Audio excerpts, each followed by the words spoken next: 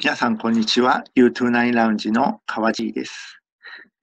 えー、こちら、U29 ラウンジビデオ講義、えー、第2回ということで、えー、今回はですね、えなぜビジネスは英語で学ばなければならないのかということについて、えお話をしたいと思います。まあ、皆さんも小さい頃から、それこそ小学校とか、え中学、高校と、そして大学、で、実際働いている方は大あの会社でも、英語は大事です、大事ですということをよく言われてきていると思います。まあ、今、TOEIC という、まあ、ビジネスの英語に特化した試験がですね、非常にこう、皆さん受けてますよね。英語をずっとやってこなかった人でも、まあ、会社とか、え、あと就職試験に必要だということでですね、みんな受けてる方も非常に多い。じゃあそれなぜそんなにあのビジネスについて英語でやんなければいけないのかというところ、えー、今回話をしたいと思います。今回はですね、こういった方、この、こういった形で、まあ、スライドを使って、あの、いろいろデータとかもありますので、えー、それで説明していくという形でを、えー、取りたいと思います。まあ、よく一般的に言われるのが、まあ、外国と、外国人とのコミュニケーションには、まあ、英語が必要だから、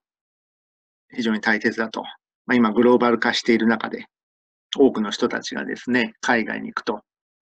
まあ、大学でも交換留学とかあったりですね、えー、しますし、まあ、会社に勤めれば、まあ、ほとんどの、会社ではですね、海外と何かしらやりとりがあると。本当地方の中小の企業であってもですね、えー、何かしら取引先もしくはお客さんという形で海外の方が関わっているケースがほとんどなので、だから英語が必要だというふうなことを、まあ、よく言われますよね。まあ、それはわかるんですけれども、まあ、皆さんですね、まあ、留学をこう考えているという中で、で、留学でビジネスを勉強するという人が、まあ、これ、見ていられる方は多いと思うんですが、そのビジネスをですね、日本語ではなくて英語で勉強する意味外国人とのコミュニケーションという以外にもですね、えー、特に留学中にも非常にあの大切な要素が、えー、ありますので、えー、しっかりと、え聞いていただければなというふうに思います。はい、えまずですね、えこちら、大学留学したとき、えー、海外、えあの、大学でもそうですし、大学院の留学でもそうですけれども、まあ、どういった生活をしているのかというところでですね、まずそこから説明していきたいと思うんですけれども、まず、まあ、ビジネス系の大学、大学院に留学するとですね、この3つのことをですね、よく、毎日のようにこう繰り返し繰り返しやることになります。論文、それからプレゼンテーション、そしてグループワークですね。まあ、論文というのは各科目、例えばマーケティングの科目だったり、アカウンティングの科目だったり、まあ、いろいろあるんですが、まあ、講義とは別にエッセイというものはですね、本当にこれはひたすら書くことになりますね。まあ、ミッドタームエグザムということで、中間テストみたいなものと、ファイナルエグザム、まあ、期末試験みたいなもの、大体この2種類があるかどというふうに思うんですけれども、まあ、その時の課題によくなるのがこの論文ですよね。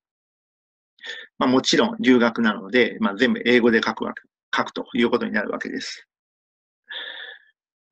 まあ、私も MBA 留学でですね、どれぐらいですかね、もう数えきれ、多分50ぐらいですかね、1年半で。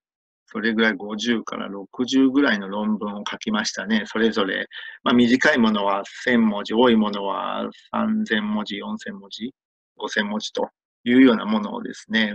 多分50から60ぐらい書いているかと思います。もっと多いかもしれないですね。それぐらい、えー、論文はもう切っても切り離せないと、留学生にとってですね、そういったものになります。もちろんすべて英語で書くということで、ライティング力も非常につくというようなものですね。えー、それからプレゼンテーション。これはですね、まあ、一人でやる場合と、グループでやる場合とあるんですけれども、まあ、パワーポイントのスライドを使ってですね、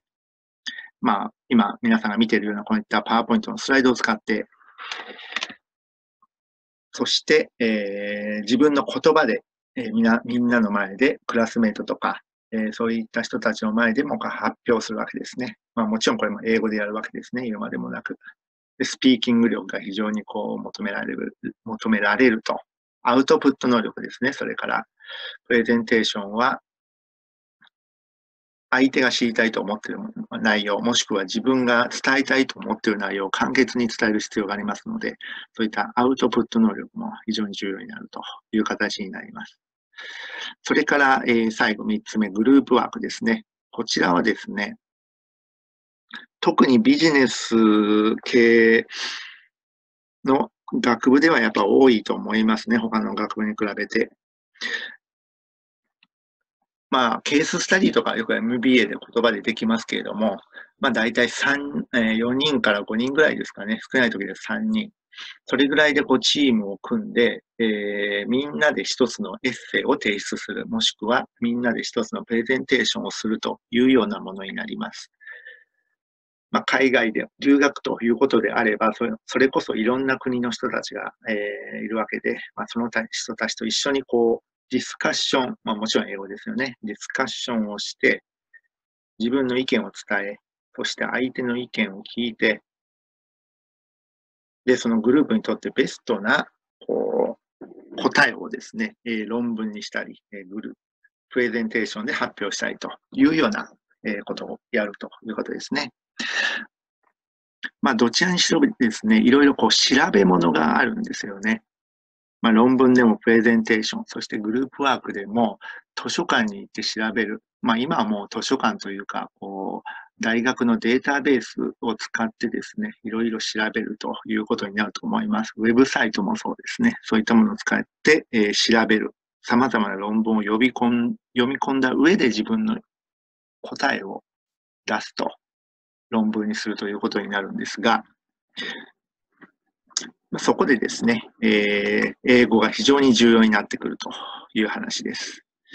まずはこちらですね。えー、英語が話せるということで、情報収集力が数倍に上がります。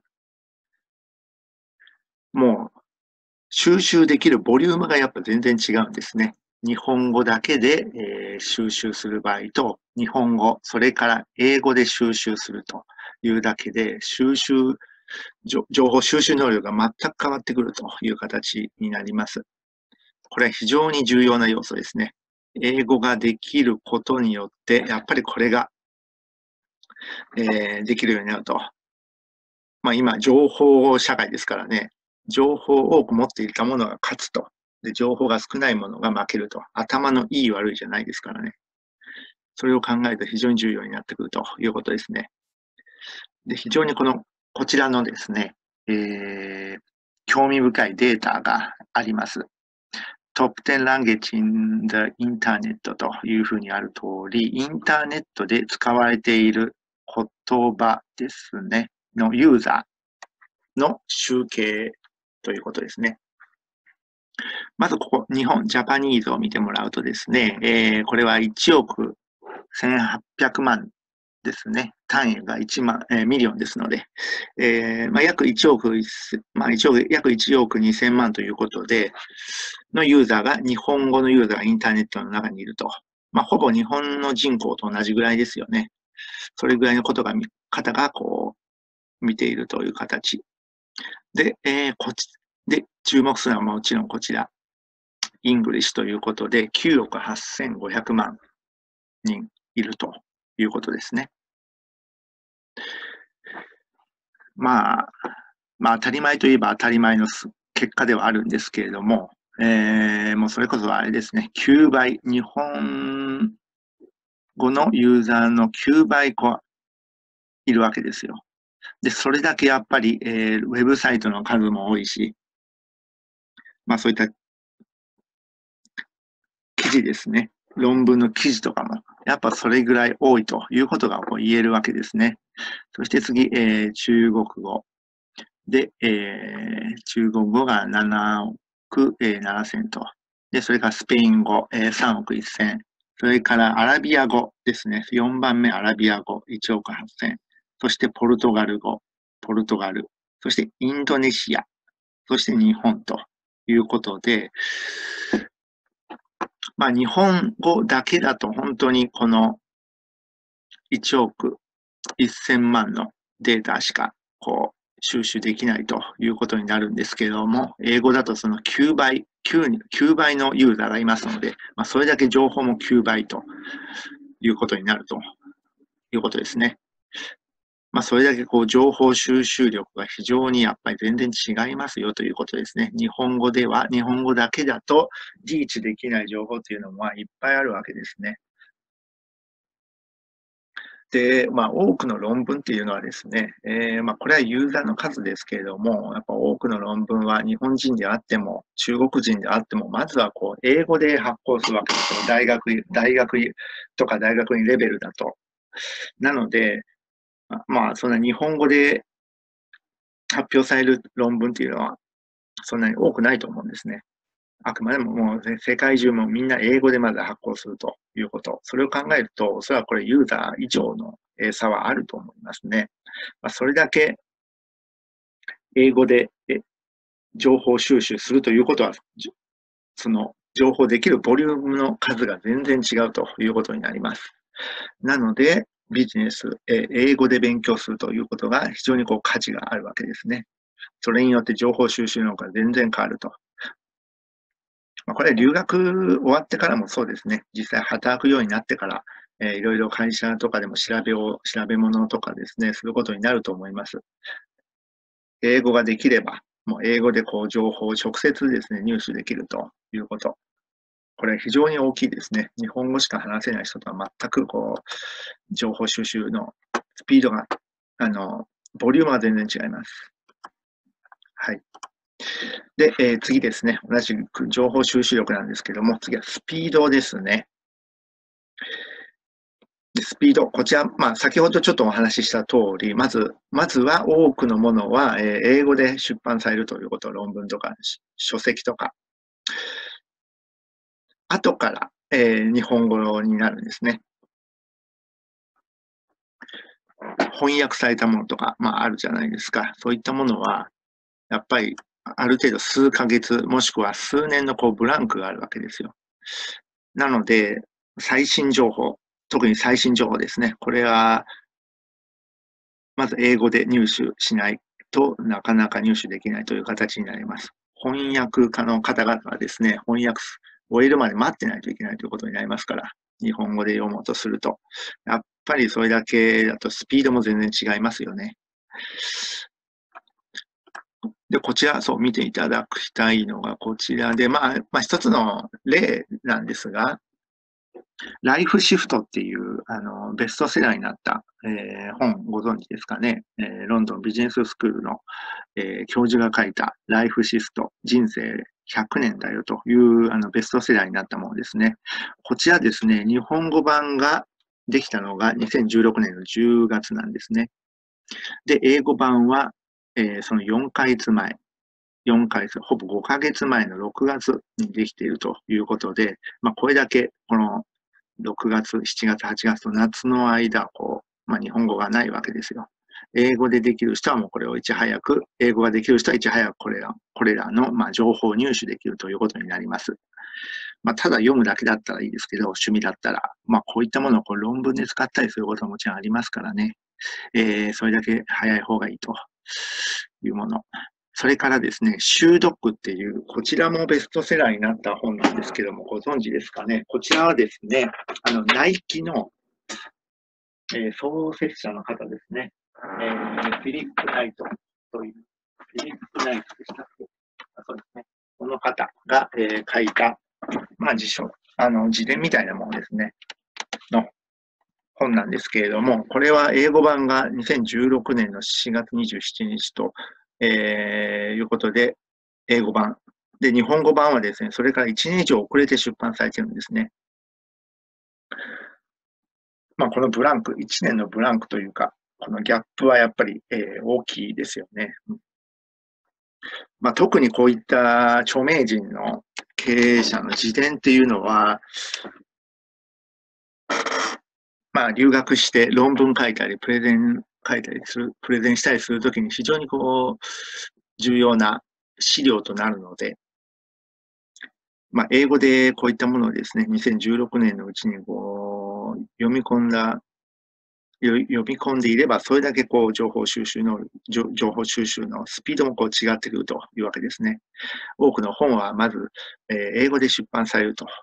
で日本語版を待っていると、えー、それだけでも数ヶ月、それからまあ1年とか遅れてしまうということがあります。特に、えー、ビジネスの世界ではこういったこう情報収集能力のスピードというものがある命取りになりますからね。特に経営とか。なので、まあ、この、まあ、このようにですね、英語の、英語での収集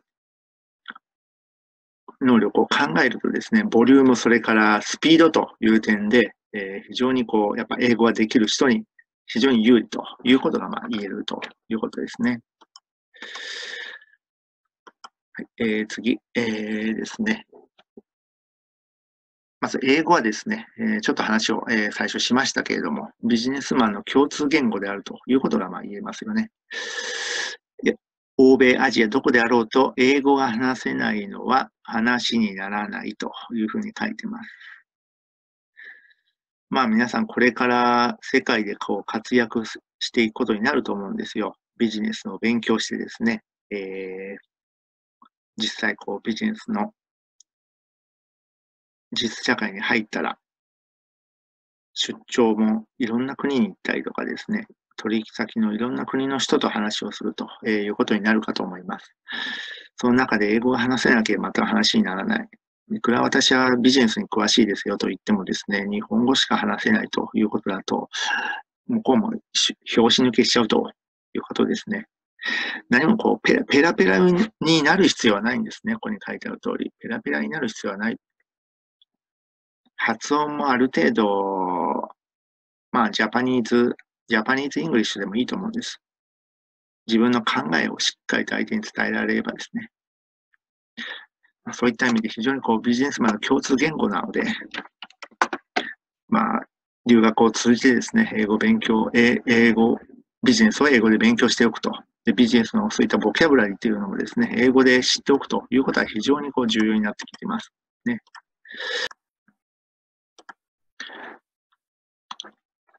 はい、えー、そしてこちら、カルロス・ゴーンさんのプロフィールをまとめたスライドになりますけれども、まあ、彼も非常にインターナショナルなビジネスエグゼクティブの一人ですよね。世界を代表するインターナショナルなビジネスマンだと思うんですけれども、まず国籍がですね、レバノン、ブラジル、フランスと3つあるみたいですね。それから言語もアラビア語、フランス語、英語、スペイン語、ポルトガル語、そして少し日本語を話されるとえいうことですね。まあ、経歴を見てもですね、まあ、小さい頃はブラジルで過ごして、中学校、高校でレバノン、そして大学でフランスという形ですね。で、それから、まあ、大学卒業してからミシュランで、ミシュランとルノーで、えー、フランス、それからブラジル、アメリカで過ごされてますね。で、ルノーと日産が提携してから、まあ、日本ということで、まあ、本当に、まあ、いろんな国でこうビジネスを見てきた人、まあ、そんなカルロス・ゴーンさんなんですけども、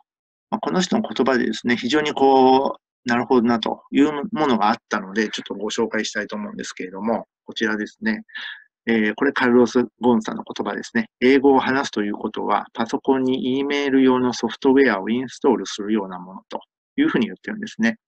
これはもう私なりに解釈するにですね、えー、英語が話せないのは口が聞けないのと同じだよということを言っているのかなというふうに思うんですね。まあ、今、こうビジネスで E メールを使わないということはもうありえないですよね。まあ、今、今からこう郵便で手紙で書いているようだったら、本当にもう何日もかかってしまってですね、そんな会社すのも本当にすぐに潰れてしまうと思うんですね。E メールは当たり前と。それと同じようにビジネスで英語を使うということはまあ当たり前なんだよというようなことを言ってるんですね。その日本人だろうが、生まれた国とかの関係ない。もう英語はもう、まあビジネスマンの共通用語、ここに書いてありますけども、まあそういうようなものだというようなことを言ってるんですね。まあ、本当にいろんな国、そしていろんな人たちとビジネスをやってきた、まあ、ゴンさんだからこそのまあ言葉だというふうに思います。まあ、それぐらいやっぱ英語っていうのは本当に必要であるビジネスでやっぱり学ぶべきものだということが、言えるかなと思います。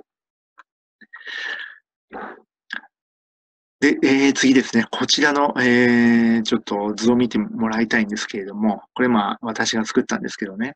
えー、留学とか、まあビジまあ、ビジネスですね。ビジネスをこう英語でやるというような、こう、時にですね、よく日本人の、日本人ビジネスマンが陥り、陥りやすい、陥りやすい負のスパイラルということで、ちょっと私がこう、えー、まとめたんですけども、まずこう、英語力がない人、いますよね。英語力がないということは、どういったことかというと、ビジネスの場ですよ。えー、自分の考えを100%伝えられないということですよね。まあ、いくら本当に素晴らしいアイデアを持っていたとしても、素晴らしいアイデア、素晴らしい、えー、斬新的なアイデアとか、論理的なアイデアとか、まあいろいろなもの、もいくら素晴らしいものを持ってたとしても、それをあのアウトプット、うまく相手に伝えることが、えー、できないじゃないですか。英語力がなかったら。本当に英語力なかったら、乏しい語彙、自分が知っている語彙の範囲で説明するしかないですよね。そうするとやっぱり100%は伝わらないんですね。日本人だったらに、維新伝心かなんかで伝わるかもしれないですけども、英語を話、英語で伝えなければならない外国人だということは、もう100%伝わらない。どういうことか、そう、そうなるとどうなるかというとですね、考えが浅いなと、えー、思われてしまうんですね。で、馬鹿にされてしまうというような形。こういったこう負のスパイラルができてしまうですね。英語力がないビジネスマン。いくら優秀であったとしても、そういったこと十分起こり得るんですね。なので、本当にあの、難しいところです。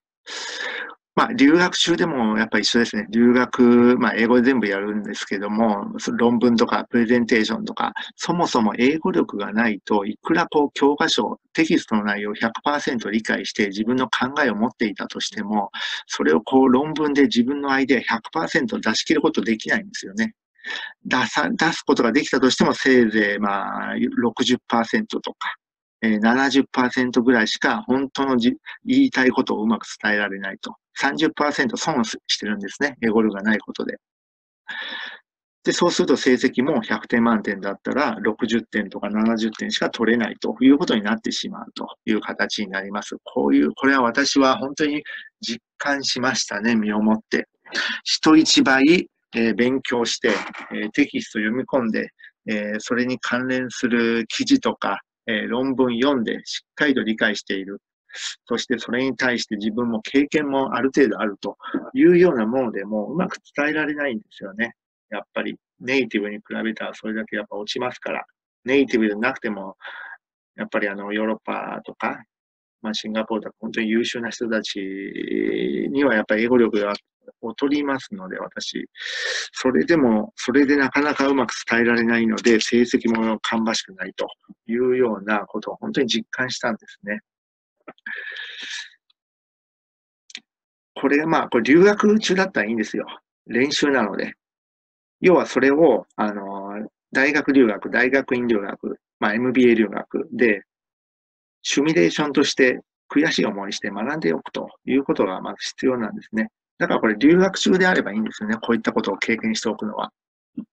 ただこれが、えー、実際のビジネスの場合になると、お金をもらってプロフェッショナルとして働いたときに、そんなことになったらもう仕事もらえないじゃないですか。馬鹿にされたら、取引先に。そんなことになってしまうと、本当にもう、ダメですよね。なので、英語で、英語力をつけてビジネスを学ぶと留学して学ぶということが非常に大切になってくるわけです。わかりますかね？日本でだからビジネス勉強しても、えー、ダメなんですよね。日本語だけでいろいろ喋れても、英語で話すに伝わらながら意味ないですからね。まあ最初に述べたように、やっぱりほとんどの何企業では何かしら、やっぱり外国の取引先とかお客さんとかいると思いますから、そういったことでできた方がいい、押したことはないということですね。学生のうちに学んでおくことがどうしてもやっぱ必要なんですね。そういうふうにやっぱり思います。はい。そしてこちらですね。視野が広がる。まあ、これ、まあ、留学そのものにも言えることなんですが、まあ、英語でビジネスを勉強することによって視野が広がると。えー、考え方、それからネットワーク、そしてストレスを経験するというふうに書きましたけれども、まず考え方ですね。やっぱ日本のいいところ、悪いところを知っている人っていうのは、まあ、留学とか海外の経験をした人ですよね。そうじゃなきゃ日本の良さも悪さもわかんないですよ。ずっと日本にいたら。そしてまあ、それこそ、留学を通じていろんな国の人に会うわけじゃないですか。特にビジネスなんていう、えー、ところで学ぶと、本当に世界各国から集まってきますからね。で、彼らの、まあ、インド人だとか、えー、中国人、えー、アメリカ人、ヨーロッパ人、それぞれみんな違う考え方、バックグラウンドがあるわけですね。言葉も違うし、え、文化も違うし、性格そのものも違うし。で、彼らと、そんな彼らと、えー、違い、違うんだなっていうことを認識して、その中でこうビジネスをやっていくという形になりますから、えー、将来ですね。その実社会でいろんな国の人と取引をするということをこう兼ねた、え、勉強だと思って彼らの考え方の違いを学ぶというのは非常に重要だと思います。で、自分、え、自分たちの日本の良さといいところと悪いところをま伝えるというような役目もありますよね。我々日本人としては。というところ、えー、まず一つ考え方です。そしてネットワークですね。これはまあ、まあ、特に留学ということになると、本当に世界、世界いろんな国から集まってきますから、特にヨーロッパとか、えー、アジア、シンガポール、えー、香港というようなところは、いろんな国から、えー、集まってきて、卒業したらまたそれぞれの国に散らばると。そこで、えー、世界中にいろんなネットワークができると。世界5大陸で、えー、ネットワークができるということになりますよね。私もですね、MBA 留学オーストラリアにしてですね、えー、で卒業したらみみんないろんな国に散らばってるんですね。なので私もそこであの今5大陸すべてでネットワークがありますね。えー、まあ、東南アジア、えー、中国、えー、日本もそうですけど、日本、それから、まあ、イギリス、えー、ドイツ、フランス、スペインとか、えー、あとアメリカ、カナダ、えー、コロンビア、えー、チリ、ペルー、ペルーというところ、あとまあオーストラリア、もちろんオーストラリア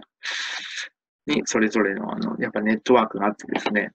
この MBA ラウンジも、そのネットワークの力でですね、いろいろこう、ビジネスのパートナー契約結んだりとか実はしてるんですね。まあ、そのように、こう、将来ビジネスを始める上でも非常にこう、強いネットワークができるというのがありますね。それが、まあ、あの、まあ、留学する一つのメリットということですね。まあ、英語とはちょっと関係ないかもしれないですけども、そういったところがあります。それからのストレスを経験とありますけれども、やっぱり留学するということは非常にストレスがたまりますね。いろんな考え方が違う人たちと、えー、ディスカッションしたり、同じ論文を作ったり、プレゼンテーションをするというのもそうだし、英語がうまく伝わらないという、えー、もやもや感を味わいながらずっと一緒に過ごすというようなこともよくありますね。考え方が違って喧嘩することも、ま、実際よくあります。非常にストレスが溜まりますね、これは。まあ、特に、まあ、これは別に偏見のつもりじゃないですけど、インドの人とかですね、本当にペラペラと、とにかく自分の言いたいことを喋るんですね。全然ミーティングまとまらないだろうというふうに思うんですけども、とにかくあの、その場をまとめるんじゃなくて、自分の思ったことを喋る。全然的外れなことを喋る。路線から外れたようなことを喋るということもありました。まあ、まあ、インドに限らないですけど。あとは、まあ、遅れてくるとか、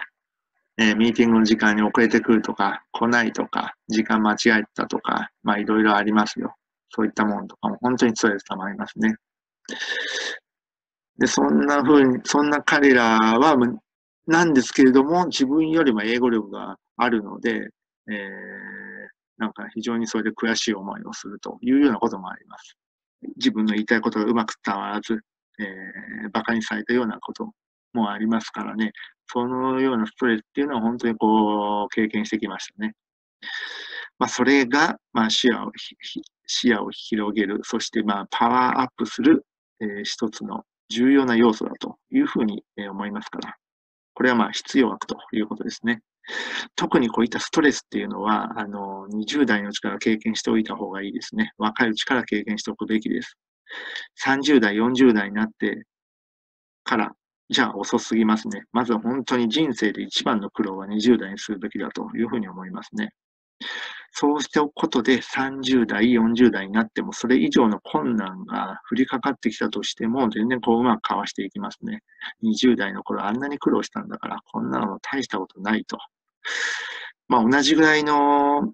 難しい課題だったとしてもですね、20代のあの若い子に切り抜けたんだから今も自分も今回もできるはずだというふうな形で乗り越えていくことがまあできるわけですよ。やっぱりね、若い頃からそういった苦労をしていれば。これが30代とか40代になって初めて苦労するともう死んじゃいますね、そこで。もう終わりと。えー、へこたれてしまうという形になります。なので20代はいろいろありますけどね、えー、理不尽な扱いを受けることもありますけれども、それも一つの勉強だと思ってやった方がいいと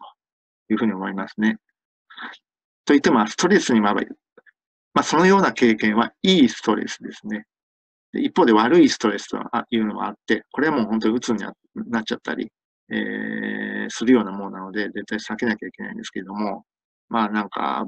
まあ、ブラック企業みたいなものとか、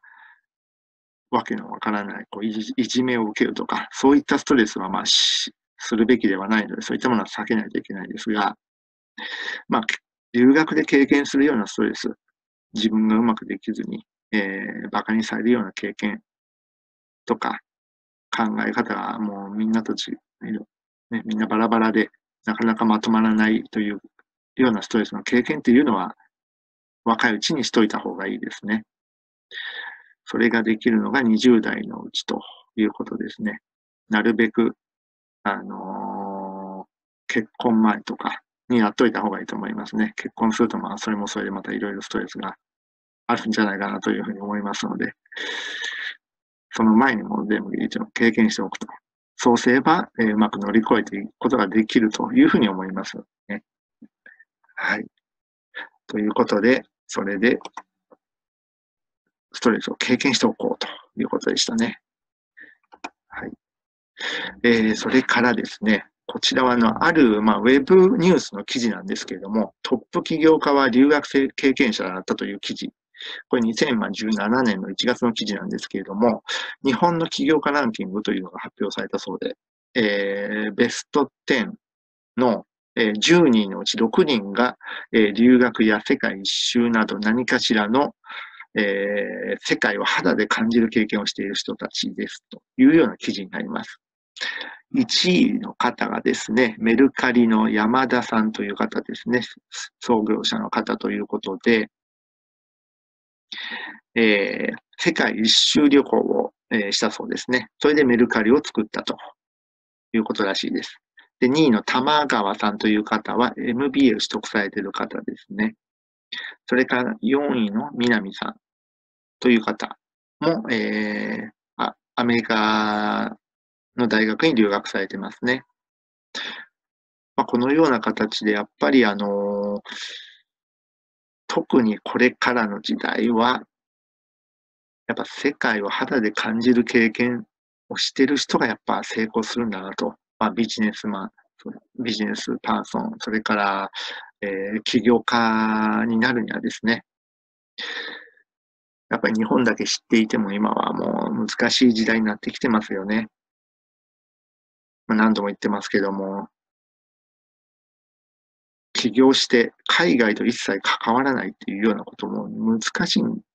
ですからね。で、何かしら絶対海外に関わるということ。その中でやっぱりそういった経験しておかないとダメですよということ。で、英語ももちろん話せないといけないですしね。ということがわかる、まあ、記事ということで、えー、ちょっとここに紹介しました。はい、えー、そしてこちら最後の、えー、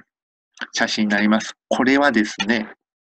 えー、これは私がと、私の写真ですね。えー、卒業式の時に撮った写真です。オーストラリア・ブリスベンですね、サウスバンクというところで、こう、卒業式やったんですけれども、その後、こう、ちょっとまあ、恒例の、えー、ガウン着て、えー、こう帽子をこうバッと上に上げてる写真を撮ったということですね。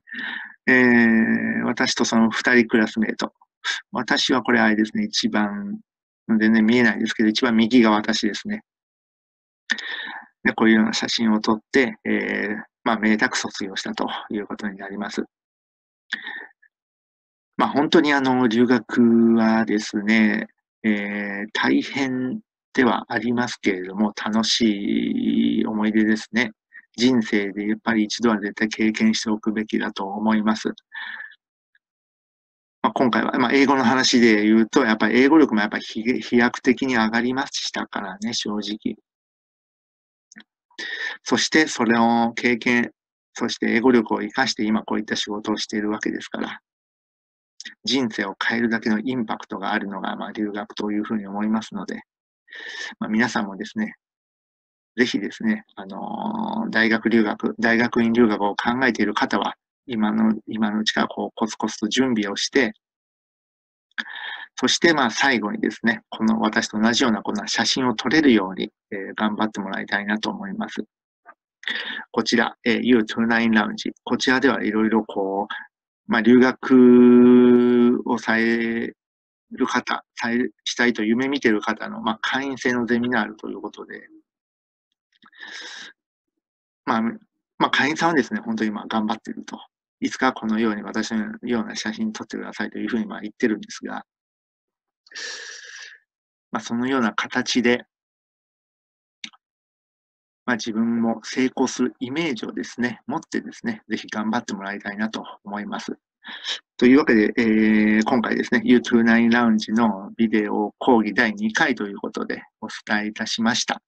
まだですね、これから3回、4回と続いていきますので、またお時間が合うときに、えー、見ていただければというふうに思います。それでは今日は、えー、お疲れ様でした。ありがとうございました。